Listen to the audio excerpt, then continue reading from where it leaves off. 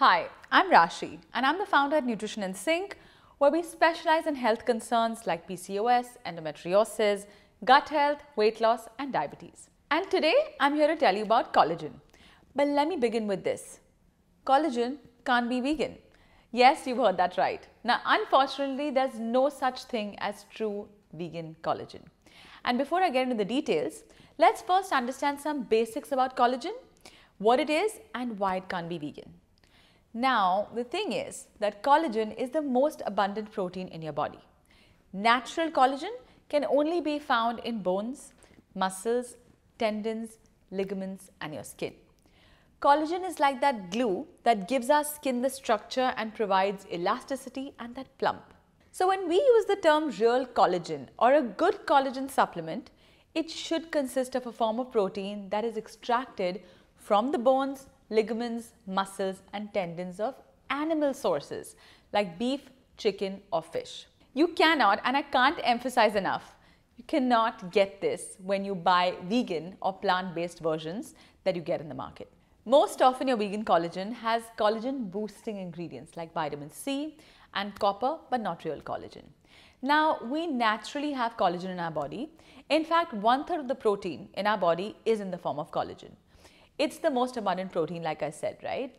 Collagen comes from the Greek word which literally means glue and it um, is like, like I said, the glue of our body. It's strong, it's springy, it's a fibrous substance that's woven into our body's tissues keeping it nice and tight and healthy, especially in our skin, hair, nails, tendons and bones. It is made up of four essential amino acids, glycine, proline, hydroxyproline and arginine. All of these, by the way, not only help your skin, but also have a dramatic effect on healing your gut lining. Now, before you reach out to buy your next collagen supplement, here are a couple of things I want you to consider. Number one is the type of collagen you're buying. Now, there are about 28 different types of collagen, but there are three essential types which are actually important for our body, all right? Number one is the type 1. Now, this is majorly for skin elasticity and has excellent anti-aging properties. It's found both in marine and bovine, but majorly found in marine collagen. And it's also the most effective type because it gets absorbed really quickly in our bloodstream and it gets to work. Type 2 is found in chicken and bovine collagen. Now this collagen makes up approximately 10% of the collagen in the body and is mainly located in our cartilage. So it's great for people who have joint pain, who struggle with ligament support.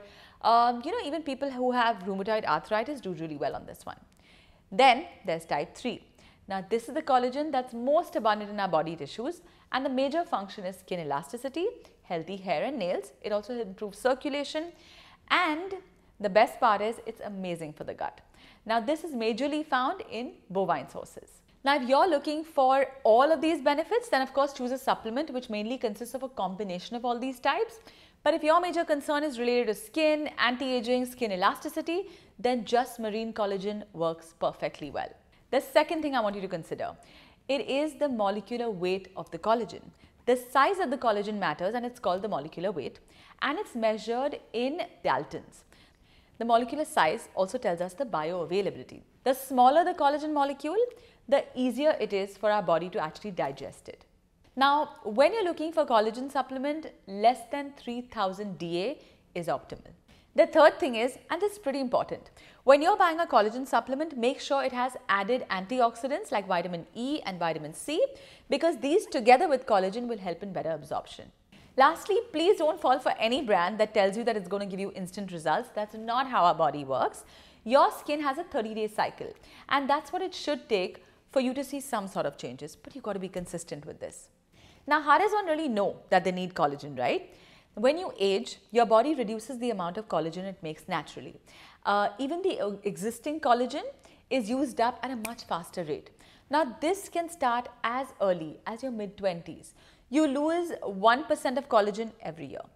But the collagen in your body cannot be really measured. Like you can't take an actual blood test to see what's going on. But you can be aware and pick up on those little signs and cues that your body gives. For example, there'll be visible wrinkles on your skin or there'll be a saggy skin, hollowing in and around of your eyes and face. That says that you're probably losing collagen. Joint pain or stiffness, a lot of people post-COVID are also struggling with this. Muscle aches, even gut issues. For example, inflammation of the lining of your digestive tract all of these are cues that your body is giving that you probably should start using a collagen supplement. I'm a fan of these mainly for the effect they have on gut healing because if your gut is okay, there's a lot of stuff in your body that just works fine. Your gut, guys, is literally your superpower. Now, I do want to leave you with a couple of other things that actually drain your collagen production.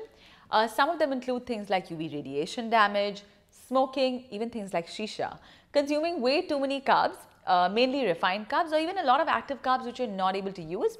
And last but not the least, stress. This is one of the major factors that accelerates the breakdown of collagen.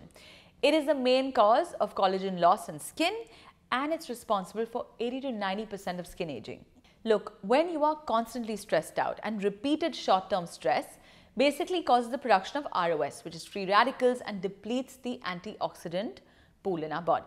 Chronic stress causes chronic immune dysfunction, it increases production of radic free radicals, and then there's also DNA damage, all of which leads to skin aging.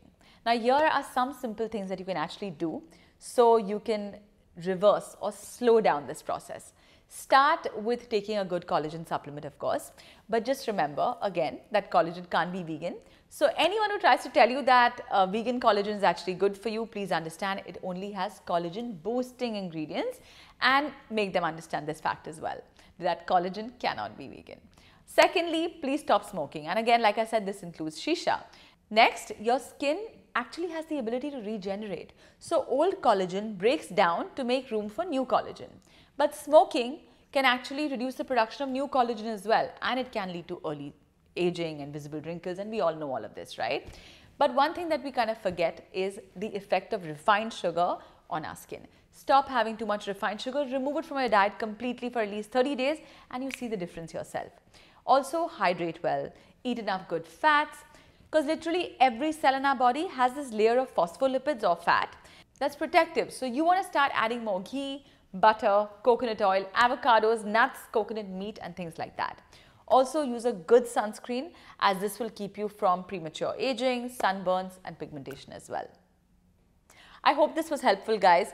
Thank you for watching and as usual if you have questions post them below. I'd love to take those up.